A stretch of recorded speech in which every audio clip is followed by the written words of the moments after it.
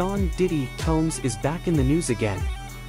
A woman is claiming to have been the madam who supplied women and drugs to Diddy's infamous parties. And she's got an explosive story to tell.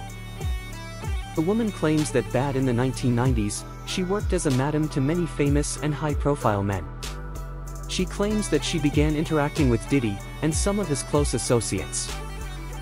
Media Takeout learned that the woman is now openly talking about what happened, how she got arrested, and her claims that Diddy may have been working with federal agents. According to the woman, she was asked by one of Diddy's close associates to provide them with party favors. She believes that Diddy, S. Find, and possibly Diddy himself, were working with federal agents and set her up. The woman spent time in federal prison, and now she's out for revenge. She's telling her story, and it's compelling. Diddy also known by stage names Puff Daddy, P. Diddy, or Diddy, 4 5, is an American rapper, record producer and record executive.